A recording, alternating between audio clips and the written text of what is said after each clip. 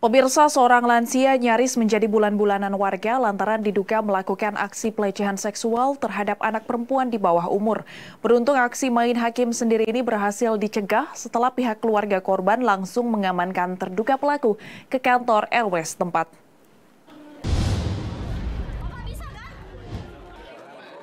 Warga yang tinggal di RW 2 Kampung Pertanian Tengah, Kelurahan Klender, Duren Sawit, Jakarta Timur, langsung memadati kantor RW setempat selasa dini hari, yang merupakan tempat seorang lansia diamankan lantaran diduga telah melecehkan anak di bawah umur. Warga yang geram pun berupaya menghakimi sang lansia. Ketua RW setempat menyebut aksi dugaan pelecehan seksual terungkap setelah korban mengandung kepada orang tuanya usai mendapatkan perlakuan tak senodoh oleh pelaku. Ada orang tua yang melecehkan seorang anak.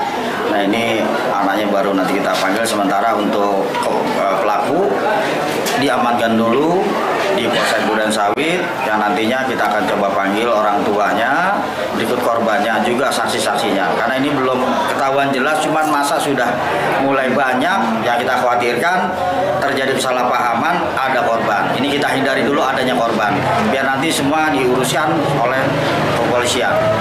Guna menghindari aksi main hakim sendiri, petugas unit reskrim Polsek Duren Sawit yang tiba di lokasi langsung mengamankan terduga pelaku. Kasus dugaan pelecehan seksual ini masih dalam penanganan aparat kepolisian Polres Metro Jakarta Timur. Dari Jakarta, Isan Riansyah, Nusantara TV, melaporkan.